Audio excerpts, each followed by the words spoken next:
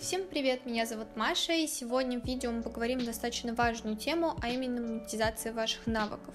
Если вы фотограф с опытом, то я думаю, я вам совершенно ничего нового не расскажу, но я хочу помочь новичкам в этой сфере сориентироваться и понять, куда можно пойти дальше. Эта тема очень интересная, поэтому давайте побыстрее начнем о ней разговаривать. Кстати, как вам огонечки в кадре, я надеюсь, их видно, я решила добавить немножко такого новогоднего настроения. Так как же заработать деньги? Давайте начнем с очевидного, а именно с личных съемок. Этот вариант подойдет для тех, кто очень любит снимать людей. Если в очередной раз Маша из соседнего подъезда захочет сделать себе новые фотографии на аватарку в ВК, а ты осознал, что ты готов брать деньги за съемку, то думаю, что это твой шанс. Ну, в этом-то и прикол, что это очень кринжовая ситуация, что Маша из соседнего подъезда. Возможно, у меня не очень хорошо с юмором. Возможно, это вставлю в видео. Я сама очень люблю снимать людей и начинала с этого. Вот, кстати, пример моих фотографий. Если ты хочешь заниматься личными съемками, начни с того, что расскажи у себя в инстаграм историях то, что ты начинаешь снимать личные съемки за определенную сумму. Я не советую ставить вам очень низкую цену за свою работу и поставить цену от 3000 рублей. Во-первых, нужно ценить свой труд и помнить о том, что твоя работа не заканчивается несколькими часами в студии, ты также потом будешь заниматься ретушью, а перед съемкой будешь заниматься подготовкой к ней. А во-вторых, помни про демпинг. Ретушь.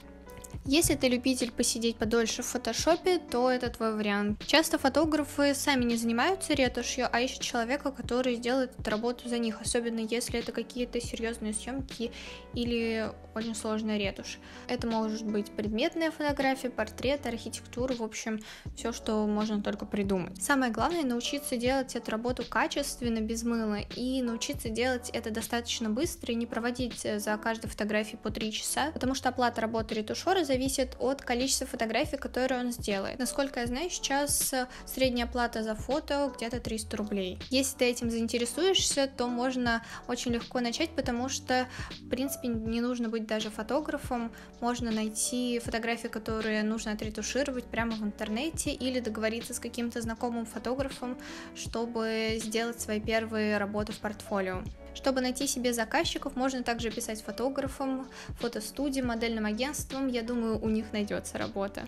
Ну а если ты уже фотограф, то это может стать дополнительным вариантом монетизации для тебя контент-съемки. Эта тема будет поинтереснее с точки зрения монетизации, потому что контент-съемки нужны сейчас абсолютно все. Нужно постоянно генерировать контент, а это в первую очередь нужно магазинам, журналам. Без этого сейчас совершенно никуда, а хорошие специалисты очень хорошо ценятся. Сюда подойдут всякие съемки для брендов одежды, предметная фотография, даже архитектурная фотография, потому что когда строятся новые здания, их тоже нужно отфотографировать. В принципе, тебе даже не нужно иметь камеру для этого, потому что я знаю много примеров, когда люди снимают на телефоны, благо телефоны сейчас настолько крутые, что позволяют делать это, и в принципе это подойдет для всех сфер, которые я сегодня назвала, не только для контент-съемок, но и для личных съемок и для других, которых я расскажу позже.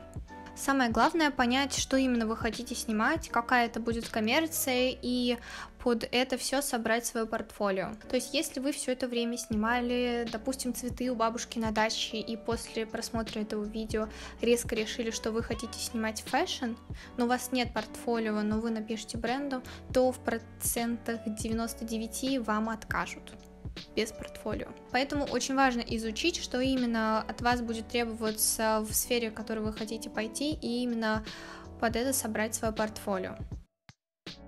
Я очень много видела рассказов на YouTube, что можно продавать в свои фотографии на фотостоках, и в принципе для этого ничего не нужно сверхъестественного уметь. От вас будет просто требоваться выкладывать свои фотографии на сайт и в принципе все. Ну и делать их. И это может стать также дополнительной монетизацией для вас. Единственное, но я не видела сайтов, на которых можно это сделать бесплатно. В большинстве из них всегда нужно вносить какой-то взнос для того, чтобы ты имел возможность выкладывать свои фото на этом сайте, и у тебя эти фото покупали. Но если у вас действительно очень много фотографий, которые подойдут под фотостоки, то, думаю, это не должно вас останавливать, и это очень классный плюс.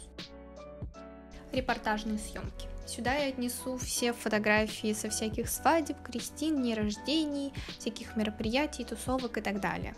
Этот вариант я вынесла в отдельный такой топик, потому что мне кажется, он немножко для экстремалов, потому что ты должен действительно очень любить и уметь снимать фотографии в моменте, а также быть достаточно выносливым, потому что большинство съемок достаточно продолжительные по времени. Но то, что они продолжительные по времени, это как раз-таки может быть и плюсом. Я имею достаточно маленький опыт в таких съемках. У меня было несколько съемок, но они были достаточно тяжелые для меня физически, потому что мне очень трудно бегать с тяжелой камерой и вот так вот с автом на протяжении нескольких часов и вот так вот постоянно висеть над людьми но это можно очень классно монетизировать. Но я не особо понимаю, почему большинство фотографов очень странно относятся ко всяким таким съемкам, особенно свадебным, потому что мне кажется, что с хорошим заказчиком и правильным подходом можно снять действительно очень красивые вещи. И это будет постоянно актуально, так же, как и коммерческая фотография для всяких брендов, потому что Репортажная фотография нужна постоянно людям, людям нужны фотографии с их мероприятий, памятных событий, а мы как раз-таки те люди, которые можем помочь им в этом. Давайте подведем итоги этого видео. Первое это то, что у вас все получится, я в вас верю. Но также я вам еще пожелаю везения и нужных людей рядом, потому что в нашей сфере это очень важно. Второе это то, что вариантов заработать денежки очень много, а вам нужно просто выбрать, что именно вы хотите делать. И я думаю, я назвала всего лишь малую часть вариантов, э, как можно зарабатывать фотографии. Третий пункт я не придумала, потому что мне кажется, я и так много полезного сказала в этом видео. Напиши в комментах, если видео тебе было полезным, можешь поставить лайк или дизлайк, а также поделись со своим другом, который до сих пор не знает, как зарабатывать на фотографии. Спасибо всем, кто поддерживает мой канал, это для меня очень ценно, особенно пока он такой маленький. Ну и до новых встреч, увидимся в следующих видео, пока! thank you